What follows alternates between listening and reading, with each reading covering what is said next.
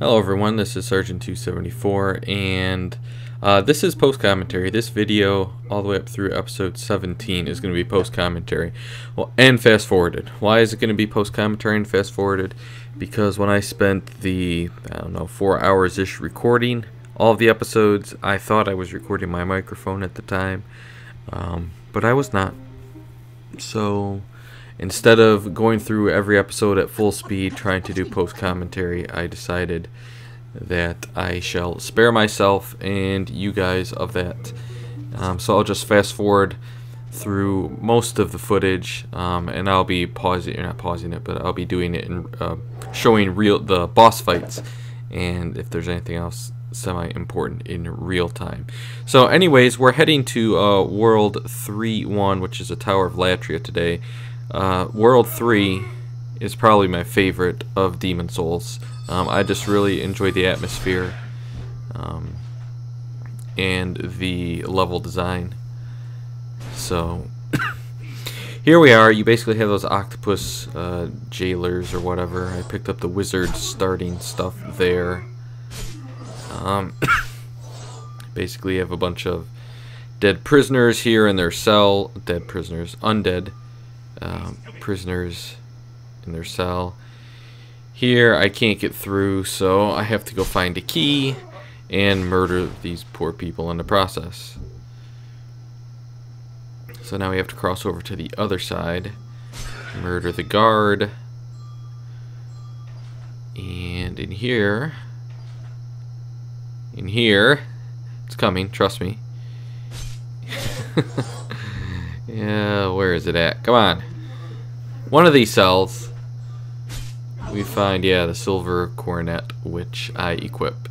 Just because I have nothing on my head and it's better than nothing. It helps with stamina regen or something like that. Not stamina, magic regen. I believe. Something along those lines, but I don't really need it. Although I do have curse weapon, which uh, I will be taking advantage of later. And more of the same.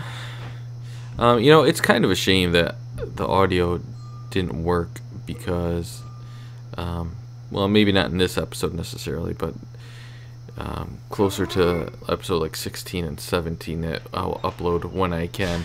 Um, I got somewhat frustrated, so the commentary was either really, well, it's never good, but it, uh, I became very frustrated. So, and you'll see why because I go into the Valley of Defilement um, in those later episodes. But anyways, we continue here, and you can't really hear it in the background very well because of the sound, obviously. Is, um, well, there you go. Now you can hear it a little bit there. Uh, there's some chick singing to us, singing us a lullaby here. There's also some guy grunting really loudly, so... And there's a thief set, uh, which is actually pretty good. I actually unequipped the coronet and put the thief uh, mask on there. This kind of is hard on the eyes, isn't it? so hopefully none of you get like motion sickness or anything because of this. I don't don't mean it. And yeah. You can see there aren't really a lot of enemies in this area. It is a prison after all, but uh I guess people do kind of, the prisoners here can attack you.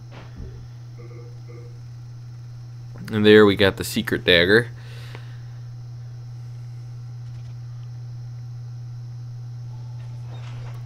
And yeah, basically in this level you have to go around finding the key so you can progress to the next area, etc, etc. And these guys are fairly easy, although as you'll see, not not in this episode I don't think, but uh, they have pretty vicious magic attacks. There's one that like stuns you, and if you get stunned they can basically just kill you. Here's the chick, she's royalty, I think she's a queen or something like that. Uh, she sells some good stuff. I don't think I bought anything from her. So yeah, she was imprisoned. But she's still doing okay. That there you can drop down to the next level. I don't at this time because I want to see what is... Uh, see if there's anything I missed on the other side. And there really wasn't. so then for some reason I go back. Actually, I have no idea where I'm going now because it's going so freaking fast. There we go. Now we're heading back the right way. Yeah, seeing those guys can attack you. I'm losing some health there, all the way down to half, half health. Pop some grass and we're good. So it's kind of like a maze in this area. And I wouldn't say maze, but it's, you know, you have to have a good sense of direction or where you are going or where you came from. I guess there's a. I thought there were more guys that popped out of those like uh, torture chambers or death chambers that killed you, but um, I only got um, poisoned by one. So here is Sage Freck, Freak, Frecke, Freakalicious. Uh, he obviously is a magic, the advanced magic trainer, teacher. Uh, we don't have the key now to free him, um, so we can't do that. We don't have the key to, that's like the warden's passage or something like that, the jailer's passage. Uh, we'll be taking it later, but again, we don't have the key. For some reason here, I just want to double check to make sure that the key we got didn't free him, but obviously I, I kind of knew it wouldn't. I don't know why I went back there anyways. There we get the heavy crossbow. And now we're just waiting. The thief ring helps a little bit in this area. Um, but pretty soon here, I will not be able to use the thief ring anymore because I will pick up a bunch of equipment. Here's Mr. I forget shoot, I forget his name now. Lord Rydell, I think. Um, yeah, he's he's a blue phantom. He's trapped in there. And in order to get him out, we need the key. But in order to get the key to free him, you need pure white world tendency. So, and there's nothing else to do up there. So we have to finally come all the way down here and loot everything.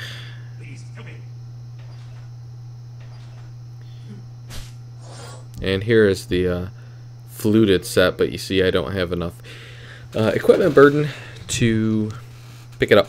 So I have to throw on the Ring of Herculean Strength. And I really don't know what I'm doing at this point in time. Wow, this commentary is so dry. I, this is why I don't like post-commentary. I mean, it probably could be more informative than, you know, commentary or live commentary, but it you don't get that reaction or that, you know, that authenticity of live commentary. Whatever. Alright, so over here, I think I actually end the original episode at this point in time. Um, but we're going to continue on because why not, right? Exactly. 30 minutes just went by in about a little over 7, so that's pretty cool. There was like a I don't know what you would call it, something of souls or kind of reminiscent of the thing of the things in the New Londo ruins there, the mass of souls or something like that. Kind of reminiscent of that. Um,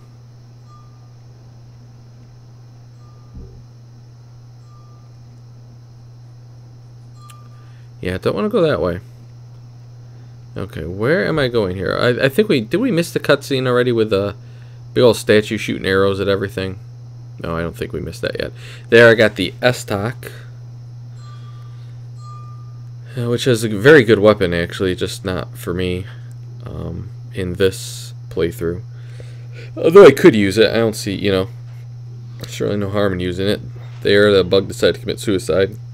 Instead of let me kill him. Yeah, here's the machine of death. Basically, it shoots a bunch of arrows at you through this hallway, or down that uh, path, the bridge there. Um, so I roll through, and I grab that treasure, and you can climb your way back up here. And here. And there's another treasure down this way, which is the Mercury Rapier. And this, I believe at this point in time, I'm stuck because I don't know where to go. Um, I haven't acquired a key, even though, as you'll see in a couple seconds or minutes, I don't know how long it takes me to get back there, that I rolled right by it. so I'm just kind of backtracking here, wondering where the heck the key is. And hey, it's right there. Oh, I rolled right over it. Yeah, it's on that corpse right there that I keep rolling over and right by. Yeah. So this is me just being an idiot, going back and forth. Surprised I didn't jump down there. That's something I might have done.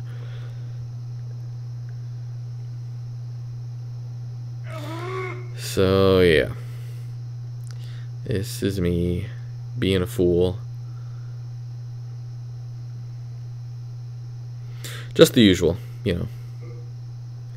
Yeah, of course I can't get through the door if it was locked earlier and I haven't acquired a key. Whatever. Hopefully now I'm going back to the right... I don't know what I'm doing. Thank God this isn't in real time for you guys because this will probably be extremely frustrating. Okay, I'm back out here. Hey, look at this. It's the key. Idiot. Uh, Alright, back to the door. It doesn't open that door. God, that's the warden's path there. So basically you can bypass going down that uh, bridge with the um, arrow machine on it. There I got lucky and missed his magic stun attack. Said if they stun you, they can then, you know, kind of like, kind of like uh, in um, the Duke's Archives, those uh, the maidens there, the cursed maidens or what, whoever they are. But you come down here and you can go through the fog gate and you can shut the machine off. So now you can go loot everything that is on the bridge here and the Clever Rat's Ring, which is kind of like the red Tearstone Ring in Dark Souls, only it's uh, below 30% in Demon Souls here. Up this side of the bridge is kind of pointless. Um, let's see, this is a long walk into the cathedral here or whatever. Uh, I tried to shoot an arrow at the guy across there because that's who you have to kill in order to do damage to the boss. A little bit like Seath uh, like the Seath fight in Dark Souls, where you have to obviously kill, the, destroy the crystal first. Um, here you have to go destroy the guy up on top of the, um, or in the upper part of the church there, which is where I am going now. You have to kill him in order to do damage to the boss. You fool. And you're idle. Alright, cool. And there's the key to unlock uh, Sage Frick's cell. Here is a trap. You come down here, get the Widow's Lotus, and there's a red phantom there that is invisible at this point in time, shooting arrows at you. I tried to roll here, or bolts, I guess I should say. It didn't work. Uh, but here's my fight. I think I slow it down. Yeah. This is in real time. You can, well, it looks so slow compared to the other time. Here's my great tactic here. Just keep whacking her. I think I tried a parry here, and it doesn't work very well. I think I do get a parry in, though. Dagger, parrying daggers are is pretty hard, because the attacks are pretty quick. There she, she was backstab fishing me there. There I got the backhanded uh, secondary attack parry off, and proceeded to kill her. And for killing her, you get that. Great. Alright. Have I fast forwarded this part?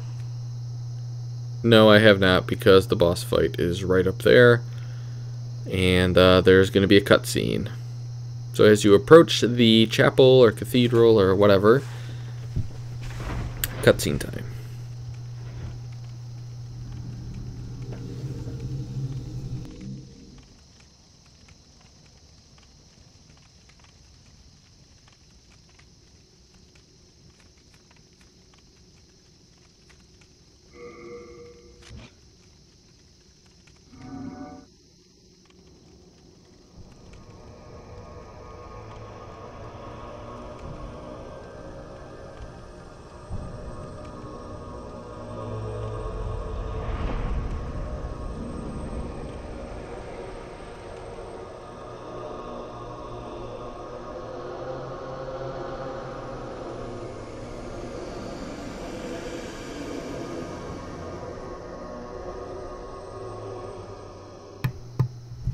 Alright, so there's the boss. Fool's Idol.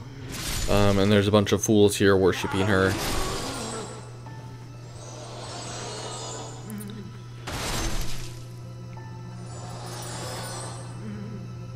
She's like a false, uh, false hope for these dead people here, or the suffering.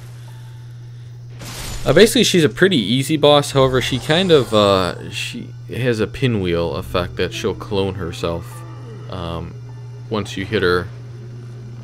Here, I take these guys out just because if I'm dead, going to be dodging around the room, uh, I don't want them to, you know, get in my way. However, as you'll see very shortly, um, there are other things that get in my way. Alright, so like I said, she's not going to attack you on spot. I don't even have the Thief Ring on here. The Thief Ring might have been good for this, actually. Um, but, yeah, I couldn't wear it because I picked up the uh, fluted set. So here we go, Curse Weapon. Attack damage plus 50. And here, I whack the crap out of her. Unfortunately, I should have let my stamina recharge because I might have been able to get one more hit in there and kill her outright in one going. Now, you can see here yeah. The rest of this fight um, doesn't go so well. Yeah, that's bad. I thought I could hide behind here. Nope. How about here? Nope. How about how about by a wall? Alright, here I finally get to heal, but you can see she cloned herself. And I don't know, I don't remember how to tell which is the real one. Um, but obviously, in rewatching this, I know because she throws, you can see the different type of magic being used there. The other ones throw the little bolts or arrows, soul arrows, whatever they are. And she throws the, the big one. It just so happens I went after the right one here and was able to kill her. So, that wasn't too bad, but wasn't too good either. And then last but not least, after you kill Fool's Idol, instead of approaching the altar um, from straight on, kind of want to go around the side uh, because you can pick up the baby's nail. And then you approach the altar and this happens.